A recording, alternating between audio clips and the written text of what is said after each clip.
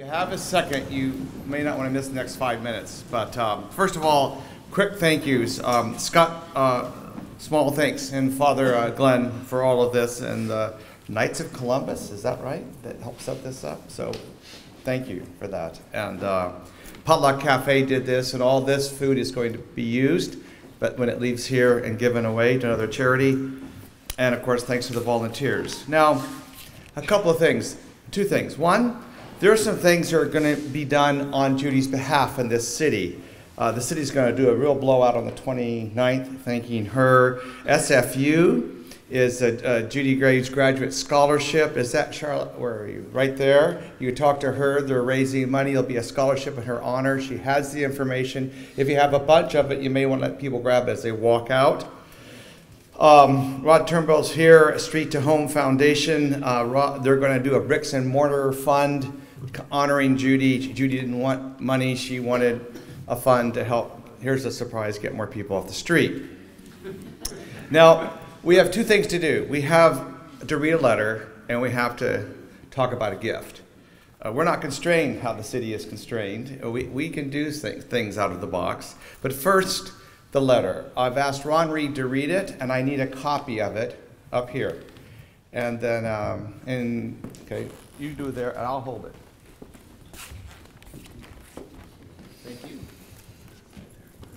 Judy, This is a plaque we're going to give her today. That's, these are the words he's reading. 40 years ago, you began work at the City of Vancouver. Nothing's been the same since, for the city or for you. At first, it was not what you said, but what you did. You loved and you listened to the most vulnerable of the city. You fearlessly befriended those we could not see and issued a clarion call on behalf of those we could not hear. The homeless did not become your project, Judy. You became theirs. They were teachers, not textbooks. The world called them outcasts, you called them friends. You learned their names. Then you built bridges between their individual situations and our personal indifference, political inaction, skepticism. You, you came not as a professor, a power broker, or a social activist, but quietly, without judgment. You implored all levels of society to listen to your friends' stories.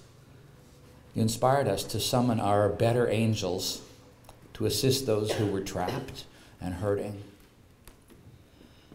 The governments of the city and province have responded. The business community became engaged. Philanthropists gave generously.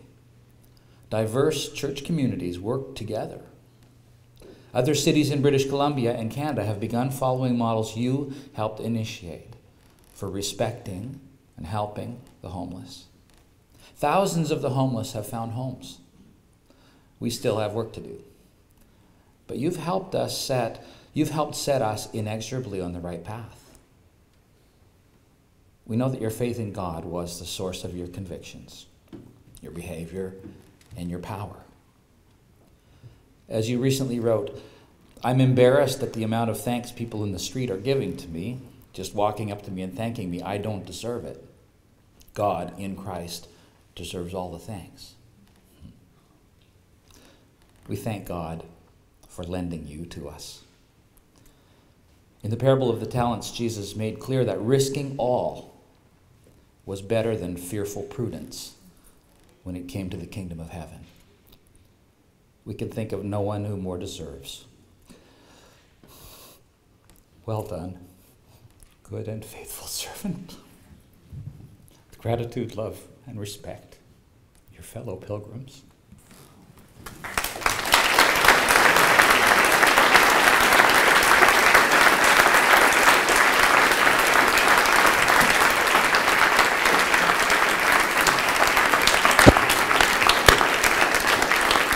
So don't don't move don't move, Judy. Uh, this you will like the least of all that we've done. Uh, we have a gift for you. Now, why a gift? Well, to express our gratitude for you in your life. Your family loves you. God loves you. Your grandchildren love you. Um, who's the gift from? It's good to know these things. It's from uh, fellow pilgrims, Protestants, Catholics, the secular, the sacred, the rich, and the poor, some lay folks, some clergy, men and women, nonprofits, and churches. In other words, from every sector of society. From every sector of society. Used for? Well, it's going to be used for transportation and uh, lodging and airfare and meals and coffee and spending money and gifts for family and personal shopping with a whole lot extra. And where are you going? Well, your daughter, Pieta, picked it. You're going for three weeks to Chartres and Paris, France, from all of us.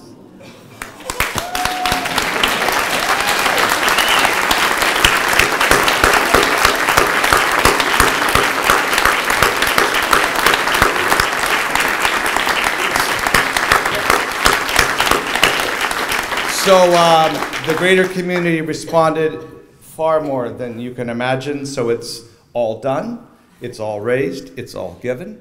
Uh, there are books and magazines in here on where you're headed. Uh, there's a travel package in here and a really nicely written itinerary. And there's a check in here. And uh, we just thought you should have that from fellow pilgrims. And thank you. And enjoy.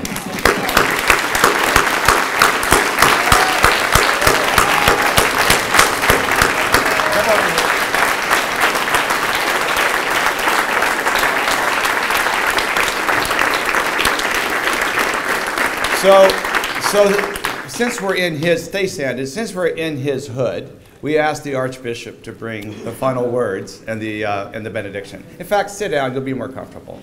And uh, you can stay here with the Archbishop. Oh, you want to say something? Say, say, go, Judy. Thank you. This is the most unexpected thing I could imagine. Um, I have always dreamed about being able to walk the labyrinth. And uh, I've never been off this continent. And uh, I'm going to have to get a passport.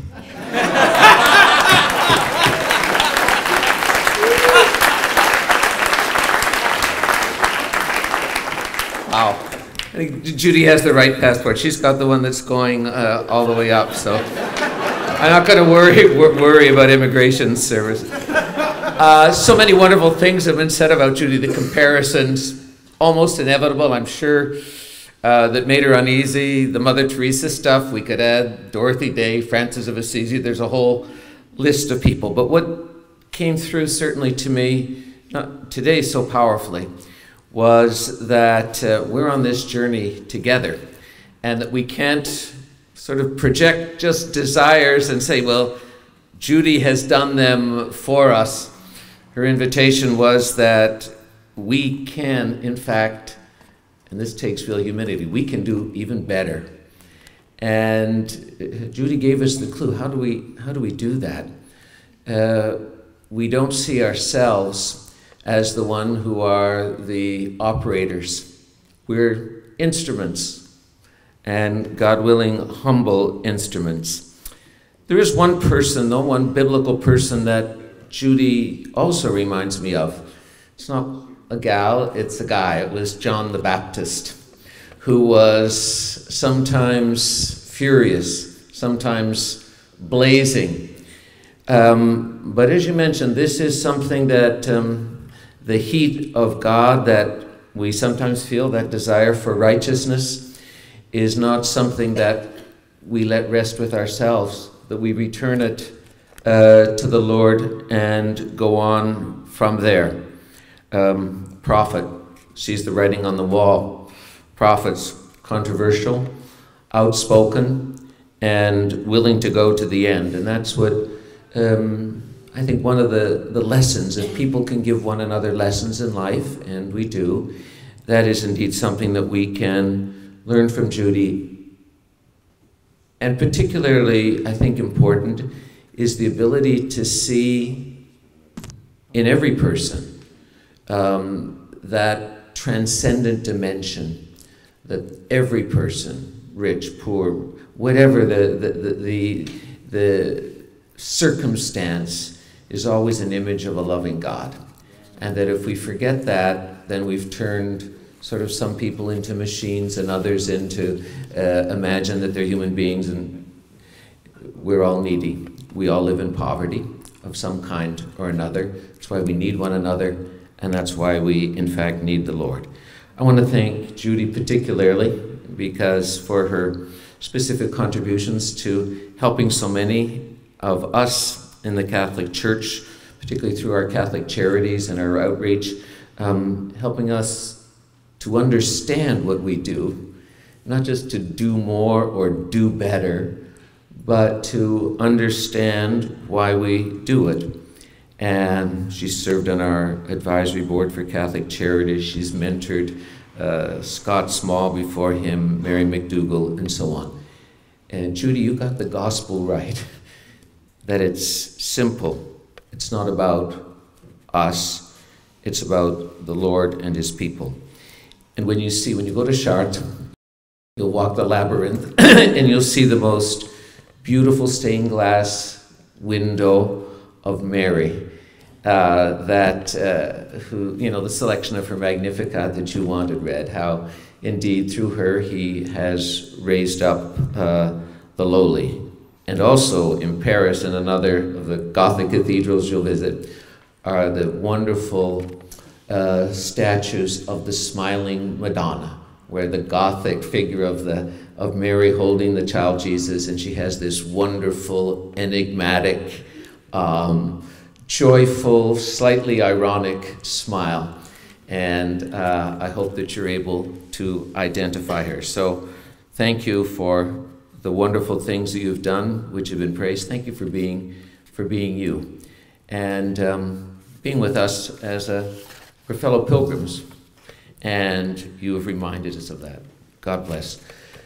May we just bow our heads for a moment and pray. Compassionate God, days pass and years vanish, and we walk often sightless among your miracles in our midst. Lord, fill our eyes with seeing, and our minds with knowing, and our hearts with loving. Let there be moments when your presence in others, like lightning, illumines the darkness in which we so often walk. Help us to see, wherever we look, the beauty of your face, and enable us to serve you in the least of our brothers and sisters. No matter the street or the corner, the park bench or the shelter, grant us the grace to exclaim, How filled with awe is this place! Now, Lord, we ask you to make us instruments of your peace and heralds of your hope, ministers of your love to those whom you place in the paths of our lives. And as your daughter, your servant, Judy, moves into a new chapter of her life, keep her under the shelter of your arm and guide her feet into the way of peace. We make this prayer in your holy name. Amen. Do you want to say something? Or? Yeah. Go ahead. This is, uh, we want to, um, uh, we know that we've gone a little bit over time, but I think uh, most of us, I think, would say that it's been worth that. We also want to know, we know that some of you want to uh, or need to get to other places. And so uh, this would be an opportunity to leave. We're going to have about a two, three minute break. And some of you are aware that we were going to have a Q&A with Judy. And if you want to be part of that, uh, we encourage you to come forward a little bit and, uh, and to stay. But I know, and what Tom was going to say, I think, uh, but I, from my position as an associate and a chaplain and spiritual, spiritual advisor for the Portland Hotel Society, I want to say thanks for coming and uh, for being a part of this great morning. So, so in about